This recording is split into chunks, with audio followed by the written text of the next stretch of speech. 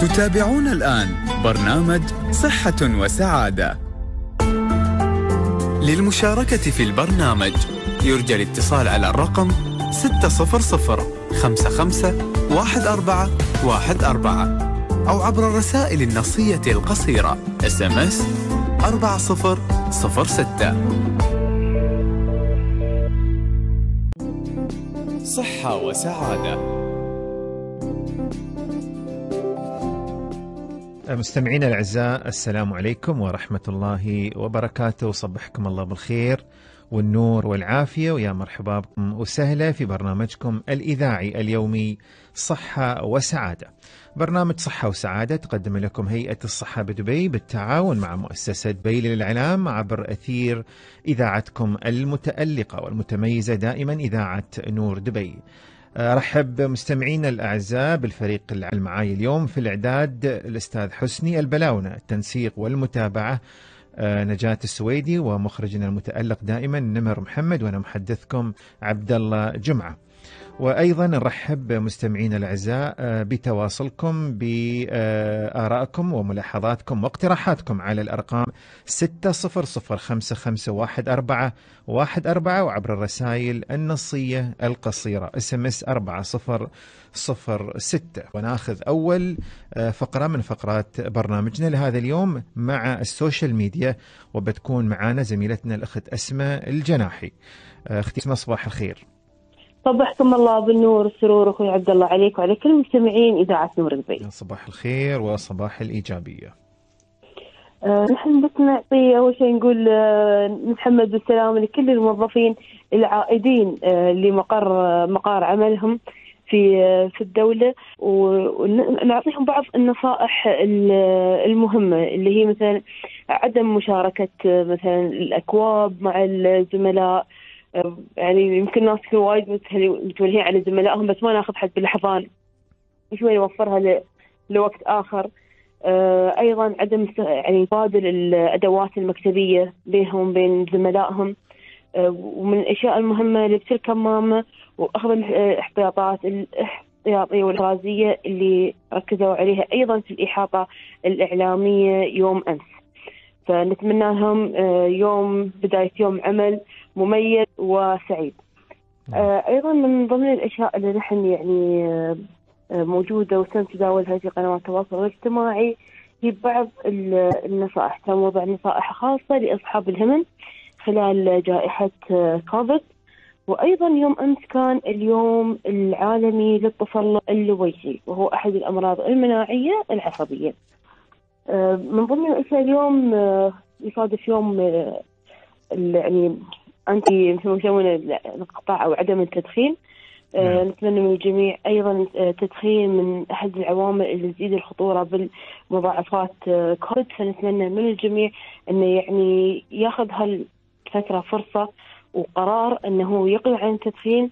حتى سواء إلكتروني أو الغير إلكتروني إن كلهم نفس الشيء صحيح فنتمنى يعني كل واحد له مضارة ونتمنى من الجميع آه يعني إنهم يعني ينقطعون عن التدخين في يعني آه، مضار ومساوئ. نعم. آه، أيضا من ضمن خدماتنا صح إن الأعمال بدات ترجع لكن أيضا خدماتنا الإلكترونية ما موجودة بالإضافة إلى الخدمات الثانية نحن نقدمها كهيئة الصحة مثل طبيب لكل مواطن خدمه دوائي والخدمات الثانية اللي نحن عودنا عليها آه، جمهورنا من خلال يقدرون يتواصلون معنا على الرقم المجاني أو الواتساب 8342 أو من خلال تطبيق هيئة الصحة ال DHA app. تقريبا هاي الأشياء اللي كانت في قنوات التواصل الاجتماعي ونتمنى لكم الصحة والسعادة. شكرا آه، أستاذة أسماء الجناحي على ما قدمتي كل الشكر والتقدير. آه، مستمعينا الأعزاء أيضا آه، نذكركم بالاستفاده من الخدمات المميزة اللي أطلقتها هيئة الصحة بدبي خدمة طبيب لكل مواطن وخدمة دوائي أيضا وخدمة الواتساب وأيضا التبرع بالدم تحت شعار قطرة دم تنقذ حياة إنسان جميع الخدمات مستمعينا الأعزاء يمكنكم الاتصال على الرقم 800342 أه بنطلع مستمعين الأعزاء فاصل وبعد الفاصل عندنا برنامج الرياضة والغذاء مع أخصائية التغذية في هيئة الصحة بدبي الأستاذة سامه المطيري. فخلكم ويانا إن شاء الله وراجعين. صحة وسعادة. مستمعينا الأعزاء يا مرحبا بكم وسهلا. رجعنا لكم مرة ثانية في برنامجكم الإذاعي اليومي صحة وسعادة. برنامج صحة وسعادة تقدم لكم هيئة الصحة بدبي بالتعاون مع مؤسسة دبي للإعلام وعبر أثير إذاعتكم المتميزة إذاعة نور دبي.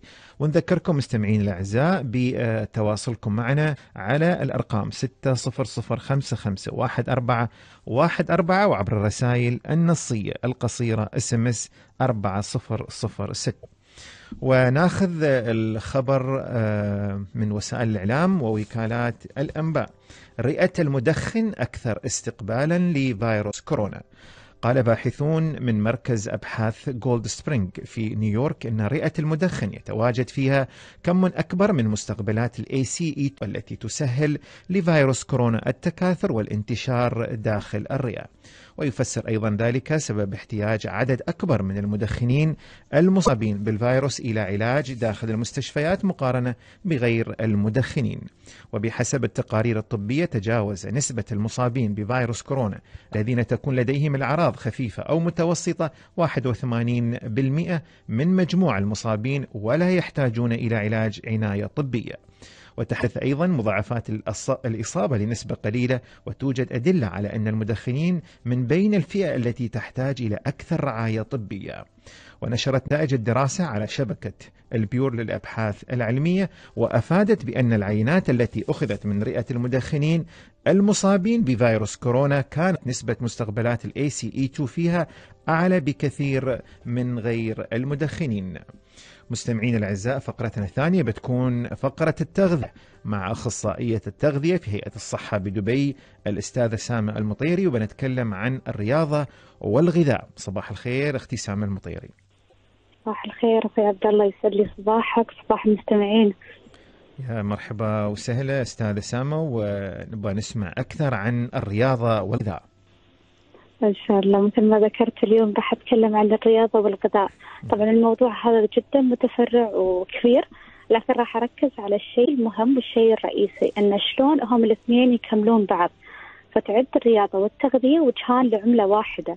الرياضة مع التغذية السليمة القائمة على الغذاء الصحي المتوازن تحقق أفضل النتائج لذلك من الأفضل موازنة الغذاء مع الرياضة واتباع أنظمة غذاء التي تتلائم مع التمارين الرياضية طبعا لتحقيق أفضل النتائج لخسارة أو اكتساب الوزن فتناول الغذاء الصحي وممارسة التمارين الرياضية تساعد على الوقاية والسيطرة على العديد من الحالات الصحية والأمراض المزمنة والتي يتم تصنيفها الكثير منها ضمن الأسباب الرئيسية التي تؤدي إلى الوفاة وأهمها زيادة الوزن والسمنة وارتفاع ضغط الدم وأمراض القلب والسكري.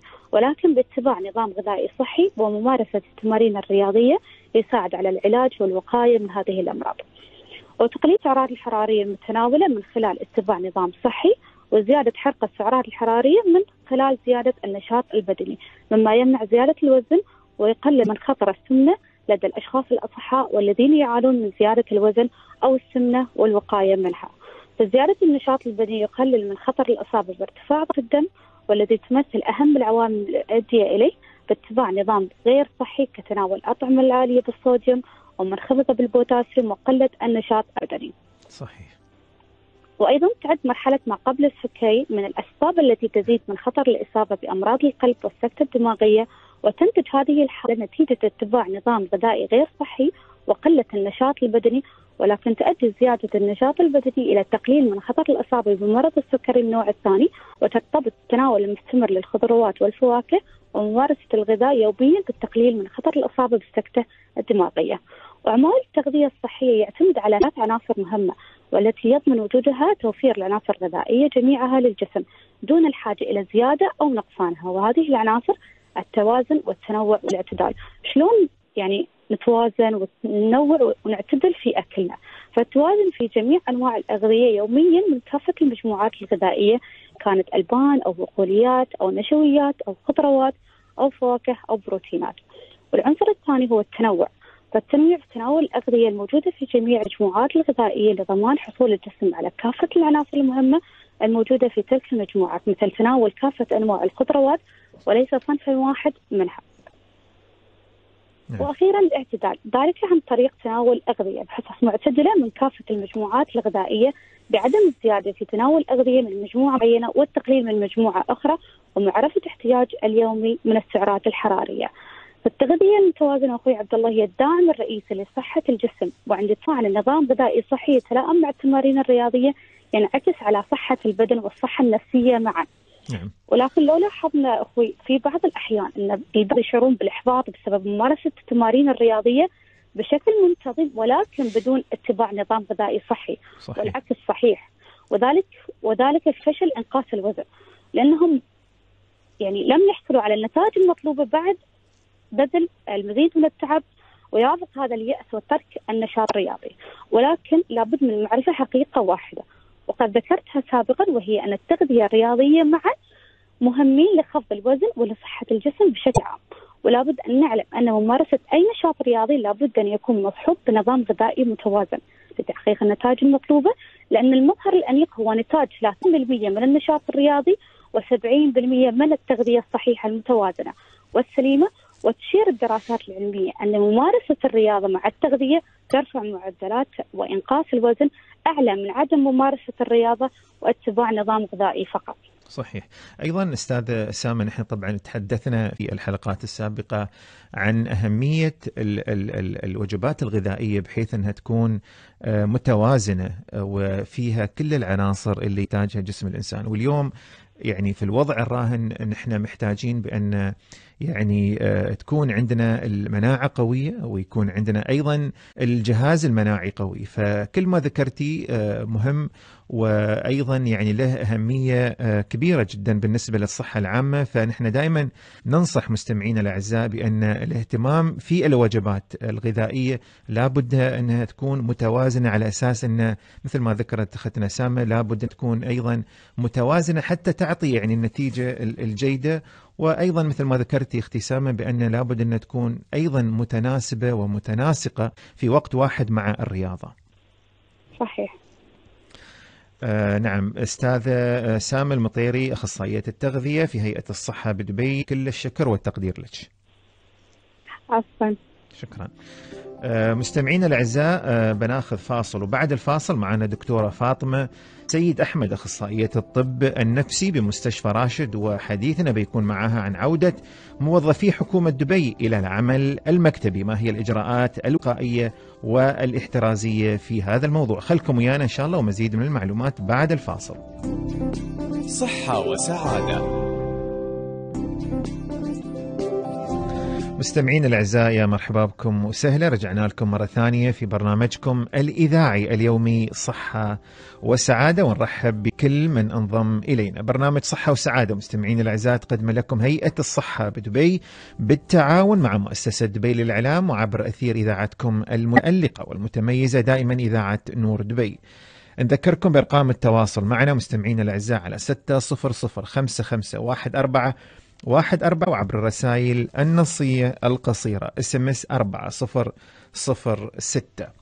وتحت عنوان عودة موظفي الحكومة إلى العمل المكتبي. تنفيذا لتوجيهات صاحب السمو الشيخ محمد بن راشد آل مكتوم نائب رئيس الدولة رئيس مجلس الوزراء حاكم دبي. اعتمد سمو الشيخ حمدان بن محمد بن راشد آل مكتوم ولي عهد دبي رئيس المجلس التنفيذي. الأسبوع الماضي قرار عودة العمل في دوائر آه، في دوائر حكومة دبي بنسبة 50% اعتبارا من اليوم الأحد الموافق 31 مايو الجاري وبنسبة 100% اعتبارا من 14 يونيو 2020 مع ضرورة الالتزام بالإجراءات الوقائية والاحترازية لمنع انتشار فيروس كورونا المستجد المعروف باسم كوفيد 19 آه، مستمعينا الأعزاء للحديث عن هذا الموضوع يسرنا أن تكون معنا اليوم عبر الهاتف الدكتورة فاطمة السيد أحمد أخصائية الطب النفسي بمستشفى راشد. دكتورة فاطمة صبحك الله بالخير والنور والعافية. صبحك الله بالنور والسرور وشكرا على هذه الاستضافة وإن شاء الله يا رب نفيدكم آه، في هذا اللقاء إن شاء الله. إن شاء الله. دكتورة فاطمة طبعا آه، مثل ما تعرفين بأن عودة موظفي الحكومة إلى العمل اليوم. نتعرف دكتورة أكثر عن آه، يعني تعرفينا عن بداية الإجراءات الاحترازية التي يجب على الموظف اتخاذها خلال تواجده في آه، مكتب العمل. ومثل ما نعرف بأن اليوم آه، المفروض أن كل شخص يكون متسلح بالعلم ومتسلح بالمعلومات بالثقافة آه، عن الفيروس كورونا وكيف يعني يقي نفسه عن مخاطر هذا الفيروس سواء في البيت أو في العمل. ولو تحدثينا دكتورة اليوم عن يعني رجوع الموظف إلى آه، المكتب إلى العمل يعني كيف الطاقة الإيجابية كيف نفسيته كيف يعني يتأقلم مع هذا الجو ولكن ضمن الإجراءات الاحترازية. آه، طبعا إحنا من سمعنا الخبر آه، يعني شفنا ردود أفعال مختلفة في وسائل التواصل الاجتماعي. نعم. آه، في من من الناس اللي رحبت بالفكرة وبالعكس يعني ابدت استعدادها التام إن هي ترجع إلى مقرات عملها وتباشر عملها وحست بأن هذه بالعكس فترة إيجابية إنه راح ترد بتفاؤل وإن يعني عودة الحياة لمسارها الطبيعي شعور يعني يدعو للاطمئنان إن نحن قاعد نرد لحياتنا الطبيعية لأن إحنا قادرين نحن نسيطر على هذا الوباء باتخاذنا كل الاجراءات الاحترازية. لكن كانت في بعض ردود الأفعال اللي شوية يمكن آه، بعض الناس اللي حسوا بالقلق وحسوا بالتوتر وصار في رهبة من فكرة العودة للعمل. وطبعا هذه الردود يعني من نتوقعها لأن في النهاية نحن كبشر مختلفين آه، في تركيبتنا البيولوجية في نشأتنا في آه، آه، آه، طريقتنا يعني وبيئتنا المختلفة. فبالتالي ردود أفعالنا المختلفة شيء جدا طبيعي. صحيح. نحن مو هني عشان نوجه اصابع الاتهام ونلوم الناس اللي مثلا تشعر بالقلق. بالعكس نحن هني على أساس نحن نوجههم ونقول لهم هذا الشعور جدا طبيعي بحكم إن نحن مختلفين في التع- التعايش مع يعني مع التغيرات والتكيف مع الأمور. لكن الخوف ينتج عن آه، قلة المعرفة. إذا أنا كإنسان سلحت عمري بالمعرفة وعرفت شو الإجراءات الاحترازية اللي لازم أنا أتخذها في مقر العمل راح يقل عندي التوتر. لكن إذا أنا ما أعرف شو بالإجراءات الاحترازية وأذهب إلى بيئة العمل بدون ما أكون مسلح نفسي بالمعرفة بالإدراك هذه الأمور اللي أنا لازم أتبعها في بيئة العمل أكيد الخوف راح يكون موجود. لهالسبب نحن نعيد ونزيد في كل وسائل التواصل الاجتماعي سواء من مواقع يعني وزارة الصحة أو مواقع هيئة الصحة في دبي إن هي نزيد في مسألة الإجراءات الاحترازية لأهميتها وضرورتها آه، لأن هي راح تساعدنا على إن نتخطى هذه الأزمة إن شاء الله وتكون الفترة الجاية فترة إيجابية. آه، أهم هذه الإجراءات الاحتراز- الاحترازية طبعا لبس الكمام شيء جدا ضروري إن إحنا نقوم بتغطية الأنف والفم. آه، غسل اليدين بشكل مستمر آه، يعني بالماء والصابون لمدة لا تقل عن 20 آه، ثانية أو إذا تعذر هال- هالشيء ان نستخدم المعقم أو المطهر الكحولي. آه، نتجنب لمس ال- الوجه آه، العين الفم آه، قبل غسل اليدين إذا نحن لامسنا أي اسطح أو أدوات. طب طبعا تنظيف ال- الأدوات المكتبية والاسطح اللي نحن نلمس بشكل مستمر. هذه هذه ضرورة إن نحن نمسح هذه ال- ال- ال- ال- الأدوات نعقمها ونطهرها قبل الاستخدام لأن في النهاية أنا أحفظ سلامتي كموظف. وبعد الاستخدام لأني أنا أبي احمي زملائي بعد لأن في النهاية آه، مسؤولية هذه مسؤولية تع- تقع على عاتق الجميع أن نحن نبغى نخلق بيئة آمنة للجميع مو بس لي أنا كفرد. فهذه الإجراءات الاحترازية بشكل عام اللي لازم يتبع الموظف آه وراح تكون إذا اتبعها راح تقلل آه من الخوف من التوتر اللي ممكن يصاب فيه والرهبة من العودة لمقر العمل. صحيح. أيضا دكتور أنت ذكرتي نقطة مهمة بأن اليوم يعني الجميع مسؤول عن الجميع فلا بد أن الإنسان يكون عنده هذا الشعور أو هذا الحس يعني حس المسؤولية حس الوطنية حس الإنسانية بحيث أنه يعني يكون آه، مثل ما تفضلتي عند المعلومات وعند الثقافة على أساس أنه يحمي نفسه من هذا الموضوع. خلال هذا الموضوع دكتوره لو نتكلم عن آه، يعني آه، التدابير الوقائية التي يجب توفرها في مقرات العمل على أساس أن أيضا الشخص يعني يرجع المك... المكتب أو العمل يحس إن هناك في جميع الإجراءات تم اتخاذها بعين الاعتبار والأماكن يعني آه، فيها آه، يعني آه، تعقيم وفيها كل الإجراءات اللي يعني تهم يعني صحته وأيضا سلامته في مقر العمل. التدابير الوقائية طبعا آه، يعني أنا بتكلم بشكل عام لكن لا شك البيئة نعم. العمل مختلفة كل مؤسسة آه، آلية العمل فيها مختلفة فبالتالي يمكن التدابير الوقائية تختلف شوية من بيئة عمل إلى أخرى لكن بشكل عام ال- آه، مقرات العمل أو المؤسسات راح يكون فيها يعني لازم توفر فيها أدوات التعقيم بشكل يعني أسهل للوصول في أماكن بارزة على أساس أن الناس تتذكر أن هي دائما لازم تعقم يدها لازم يكون في تعبئة لهذه ال- الأدوات بشكل آه، دوري وبشكل منتظم. لازم يكون في توفر للكمامات. بعض الخطوط يعني الموظفين اللي في الخطوط الأمامية آه، المؤسسات تأخذ على عاتقها أن هي توفر لهم الكمام. آه، صحيح. إذا اضطروا أن يغيرون الكمام في بيئة العمل. آه، أو إذا مثلا يا مراجع أو متعامل ونتيجة يعني قلة وعي أو أو قصور إنه مثلا مو بلابس الكمام إن نحن نوعيه نستغل هذه الفرصة إن نحن نوعي هذا المتعامل لضرورة لبس الكمام فممكن إحنا نعطيه الكمام نحفظ فيه آه، آه، سلامة موظفينا وسلامة المراجعين الآخرين. آه، لازم يكون في يعني ترك المسافة الكافية بين الموظفين وحتى الموظفين والمتعاملين على الأقل يعني بما لا يقل عن مترين بين الموظفين والمتعاملين. لازم يكون في تعليمات وملصقات علمية. تذكر آه، سواء الموظفين أو المتعاملين بضرورة يعني آه، اتباع الطرق الصحيحة. لغسل اليدين آه، آداب العطس. يكون في مثلا إرشادات عن طريقة آداب العطس في مكان العمل. معلومات مثلا إيجابية عن يعني رسائل إيجابية خلينا نقول عن آه، آه، إن نحن ممكن نتخطى هذا الموضوع، نحن ممكن صحيح. آه، يعني بالتزامنا بهذه ال- الاجراءات الاحتراز إن نحن نخلق بيئة آمنة في مقر العمل. الأماكن اللي فيها طوابير عم- عملاء يكون في ملصقات تنظم مسألة الطوابير الأماكن اللي فيها انتظار يكون في مثلا عدد ملصقات تحدد العدد المسموح للمتعاملين في هذا المكان. أهم بعد في يعني نقاط مهمة أن مثلا أي عامل آه، عملاء أو مراجعين آه، يدخلون مقر آه، ال- ال- المؤسسة هذه أن يكون فيها قياس لحرارتهم على أساس إنه نحن إذا في شخص يعني ممكن شاكين إن حرارته تكون مرتفعه انه يعني يمنع إنه يدخل مقر العمل وحتى الموظفين ممكن إحنا نقيس حرارتهم قبل لا يدخلون مقرات العمل. صحيح في وايد يعني تدابير وقائية تتخذ من المؤسسات الحكومية.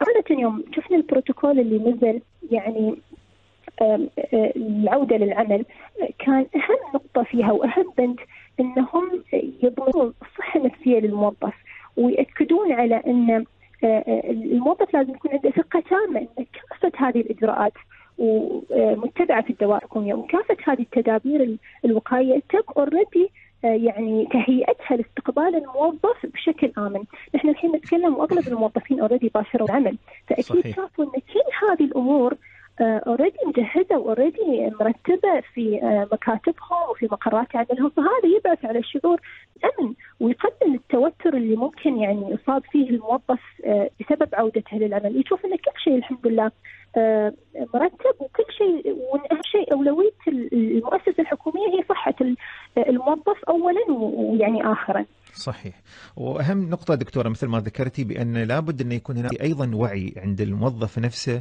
بجميع الإجراءات الوقائيه والاحترازية وأيضا الدليل اللي نزل فيه كثير من الأمور وكثير من البنود توضيحيه يعني لابد أن الموظف يكون مطلع عليها بشكل كبير جدا.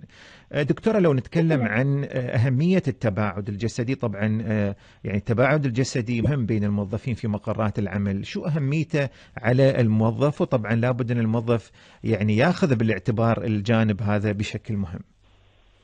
شوف أهمية التباعد الجسدي. هي هي من منطلق أن نحن نفهم كيفية انتشار هذا المرض. المرض هذا عندما يكون شخص مصاب بالسعال أو مثلا الزفير وهي خروج عملية يعني الهواء من الرئتين ممكن آه، تطلع قطرات ب- بالفيروس هذا وممكن تنتشر على الأشخاص والأسطح القريبة. فبالتالي نحن نحس على التباعد الجسدي عشان نمنع هذه العملية ونمنع انتشار المرض. فبالتالي ال- ال- التباعد الجسدي مهم من هذا المنطلق. لكن نحن دائما نقول كثر ما نحن نشجع على التباعد الجسدي ونقول إن هذا شيء ضروري عشان ما يكون في انتقال المرض نشجع على إن الموظفين يعني في مكاتبهم يكونون يعني المكاتب مرتبة بطريقة معينة عشان نضمن هذا التباعد الجسدي. لكن بعد في نفس الوقت نحن ما نشجع التباعد الاجتماعي. اي خلكم متباعدين جسديا لكن خلكم قريبين اجتماعيا. في النهاية الزميل الخوف مش من الزميل هذا الزميل اللي أنا كنت معاه سنين وأداوم معاه سنين لكن الخوف من المرض نفسه. فبالعكس هذا الزميل يكون في هذه الفترة أقرب لي ولازم نحن تكون إيد واحدة نتعاون نذكر بعض بالاجراءات الاحترازية نذكر بعض برسائل إيجابية نرسل بعض رسائل إيجابية. نذكر بعض إن نحن نقدر نتعاون في إن نحن نتخطى هذه الأزمة لأن هذه الأمور هي تساعدنا إن نفسيا نكون يعني أفضل وشعورنا في بيئة العمل وعطائنا في بيئة العمل يكون أفضل، فأنا وايد يعني صح احث على التباعد الاجتماعي لكن أقول حاولوا إنكم ما توصلون لمرحلة التباعد يعني قصدي احث على التباعد الجسدي بس أقول حاولوا إنكم ما توصلون للتباعد الاجتماعي بالعكس خلكم أقرب وخلكم متعاونين أكثر لأن هذه راح يعني هذه هالشيء اللي راح يخليكم تتخطون هذه الأزمة مع بعض.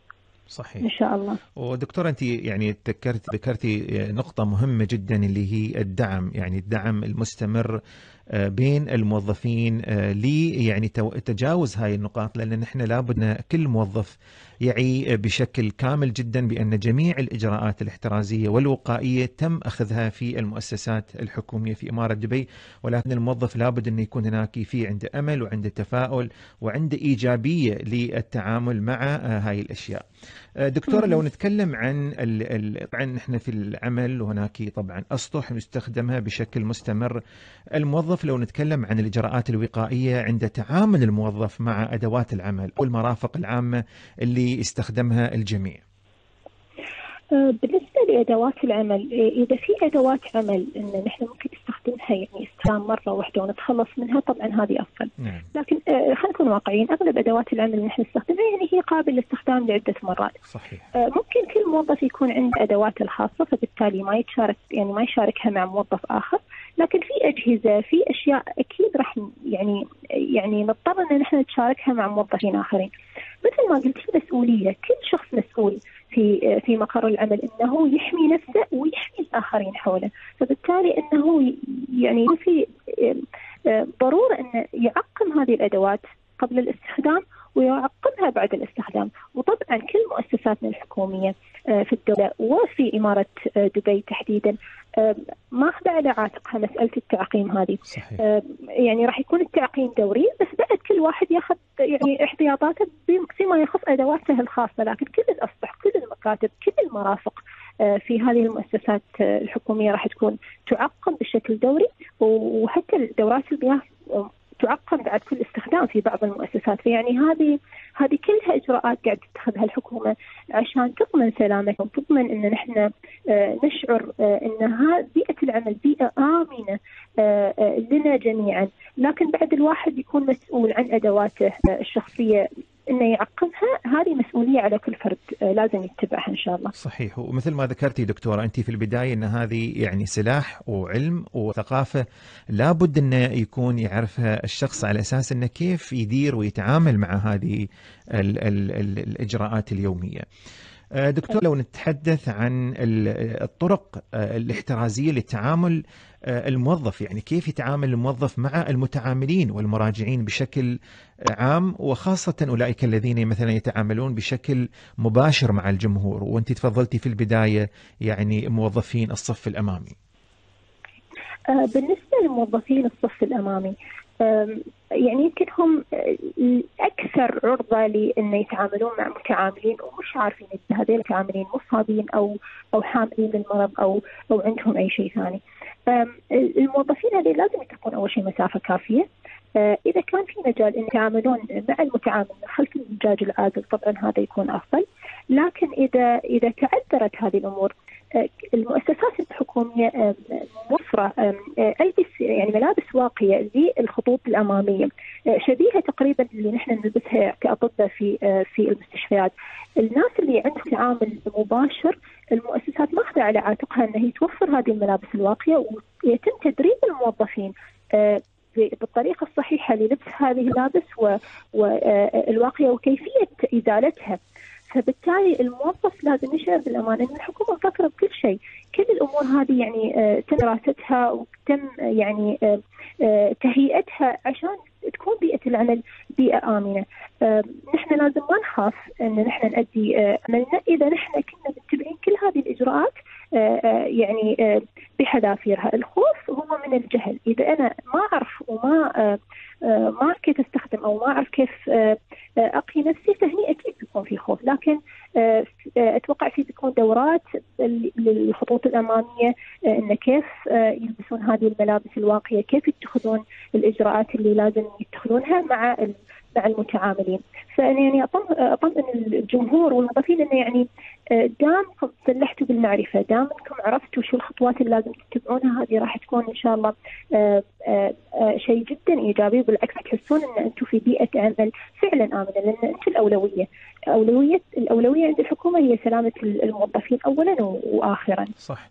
دكتورة حتى لو نتحدث معاك عن الجانب المهم هذه بأن اليوم يعني المعرفة بالإجراءات الوقائية والاحترازية لابد أنها تكون ثقافة.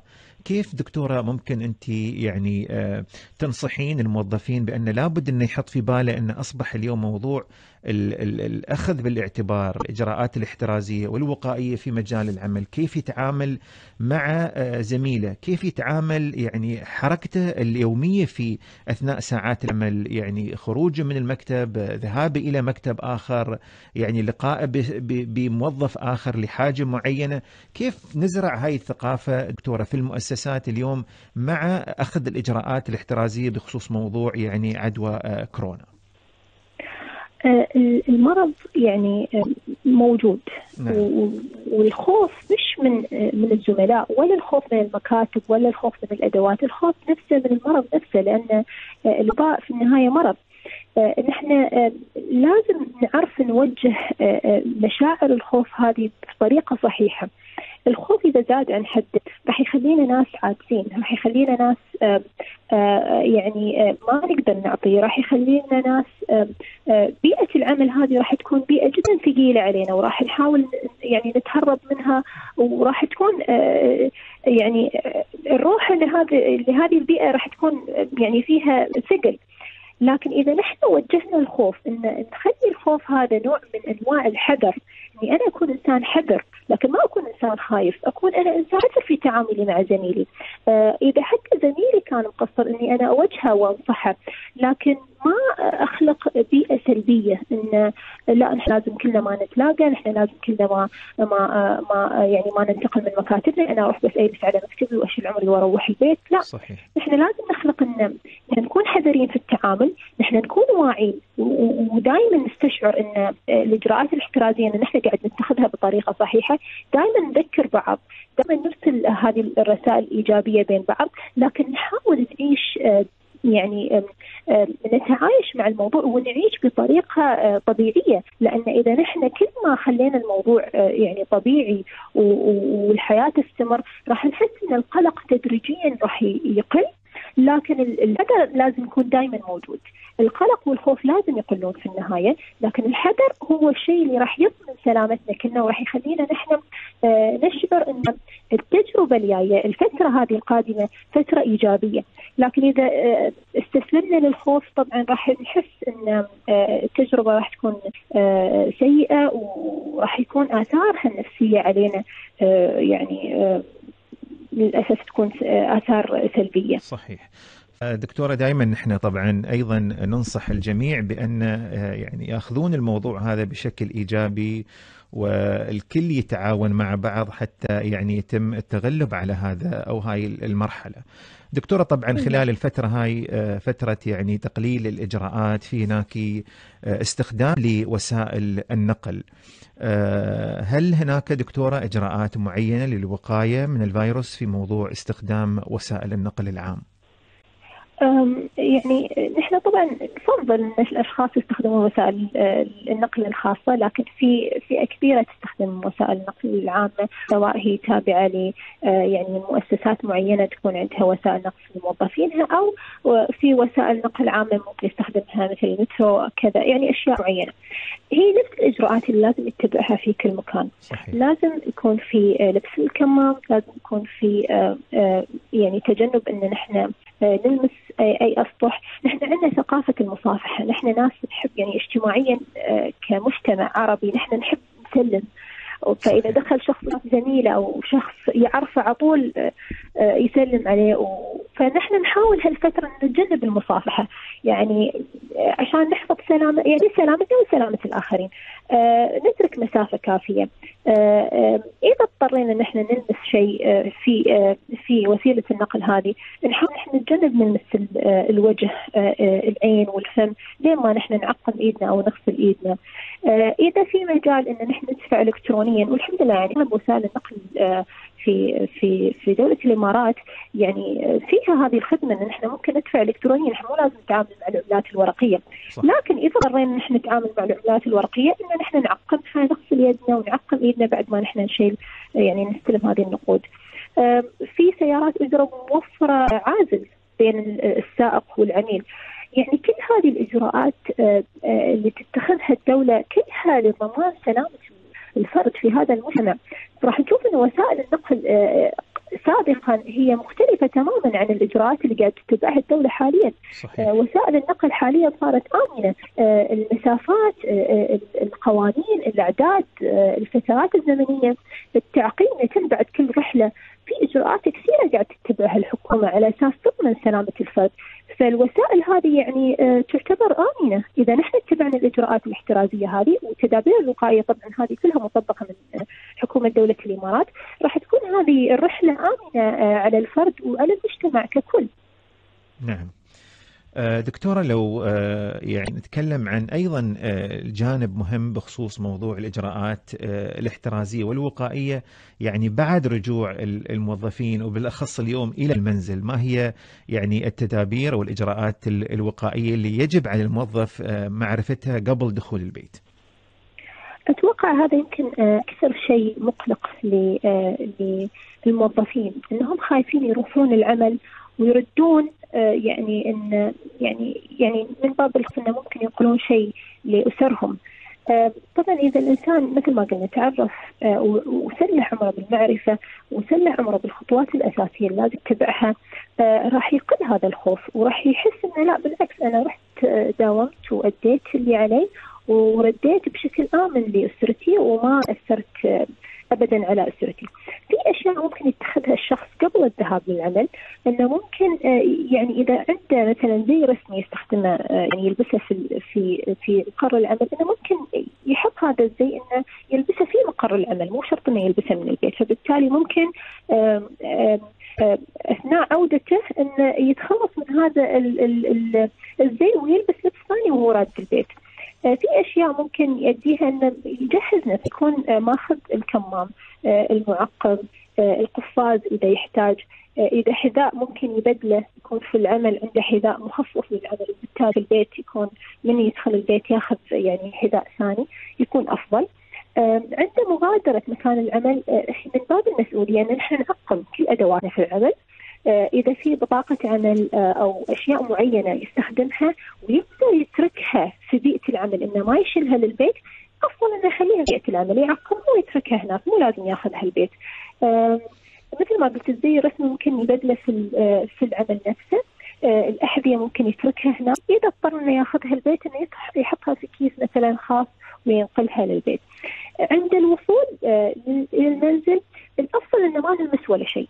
يعني لا نلمس آه، أي شيء ولا نحاول إن نحن نسلم على حد أو كذا لين ما الشخص يبدل آه، الملابس اللي آه، راح فيها العمل؟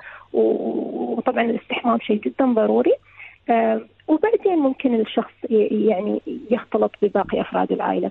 إذا في في مجال يكون في غرفة انتقالية انه مثلا يوصل البيت وإذا في غرفة خارجية انه يقوم فيها بهذه الإجراءات قبل لا يدخل آه، آه، البيت يكون أفضل، إذا لا إنه يدخل لين الغرفة وبس إنه يحاول إنه ما يلمس لا أشخاص ولا أفراد لين ما يقوم بعملية الاستحمام وبعدين إن شاء الله آه، يطمن وياخذ يعني راحته في الموضوع. نعم. آه، دكتورة فاطمة السيد أحمد أخصائية الطب النفسي بمستشفى راشد الحقيقة استمتعنا بالحديث معك كل الشكر والتقدير لك دكتورة فاطمة. آه، شكرا وايد على الاستضافة وإن شاء الله يا رب آه، كل الموظفين آه، يردون إلى بيئة عملهم ب- بنظرة إيجابية لأن الفترة القادمة إن شاء الله راح تكون فترة آه، إيجابية. إذا نحن تسلحنا بكل هذه الأمور آه، وعرفنا نفسنا شو الأشياء اللي بنتبعها وساندنا بعضنا على أساس أن تكون فترة إيجابية للجميع إن شاء الله. شكرا دكتورة. مستمعينا الأعزاء وصلنا إلى نهاية حلقتنا لهذا اليوم. وأتمنى إن شاء الله أن حلقتنا قدمت لكم المعلومات المفيدة وهذا هو نهج هيئة الصحة بدبي لإيجاد مجتمع صحي وسعيد. وأذكركم أيضا بأن ال- الالتزام بالإجراءات والوقائية والاحترازية واجب وطني ليساعدنا آه، على تجاوز هذه المرحلة. وسلامة المجتمع أمانة لا يمكن الاستهانة بها أبدا. أشكر فريق العمل اليوم معاي في التنسيق والمتابعة نجاة السويدي ومخرجنا المتألق نمر محمد وتقبلوا تحياتي أنا عبد الله جمعة. استودعكم الله. السلام عليكم ورحمة الله وبركاته. صحة وسعادة بالتعاون مع هيئة الصحة بدبي.